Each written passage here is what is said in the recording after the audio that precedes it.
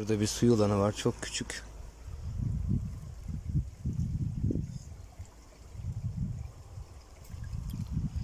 Evet yakaladım. Ay yavrum.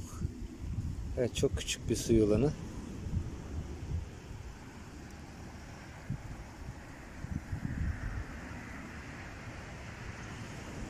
Harika. Görüyor musunuz? Şimdi bir kamerayı normalleştirelim.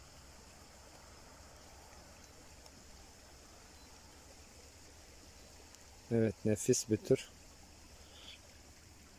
Korkma korkma. Saldık onu. Nereye gitti? Nereye gittiğini bile görmedim. Korkudan çok hızlı kaçtı. Suyun içine bakıyordum. Birdenbire önüme çıkıverdi. Ee, ilginç kertenkeleler var bu suyun içinde. Acaba onları gösterebilir miyim diye size bakarken önüme yavru su yılanı geldi. Ee, aslında şu böcekten bahsedeceğim. Amacım biraz da onu çekmekti. Değişik değişik canlılar gördüm. Şu böcek suda koşan böceği. Görüyor musunuz? Su üzerinde yürüyebilen nadir canlılardan. Bildiğiniz yürüyor. Onu da sadece denge ile yapıyor. Yani onu yapmak için başka bir şeye ihtiyaç duymuyor bildiğim kadarıyla. Yeni bir soran olmuştu ismini. Bunun Türkçesi suda koşan. Latincesini de biliyordum ama şu anda aklıma gelmiyor. Era Dei gibi bir şeydi. Bir zoom yapalım mı biraz? Yapamıyorum. Suda koşan böceği odur arkadaşlar. Su yılanı da hmm, tombaladan çıktı.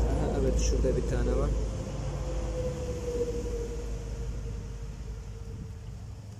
Ne kadar hızlı gidiyorlar. Yani enteresan bir su bu. Bunun içinde değişik canlılar var yosunların arasında. Bildiğiniz Şurada koşan geldi bu arada yanıma bir tane. Denizde balık yakaladığımız teke dediğimiz canlıya benzeyen canlılar var. Su kertenkeleleri var. Pat diye önüme bir tane yavru su yılanı çıktı. Çok ilginç. Çok hoşuma gitti burası.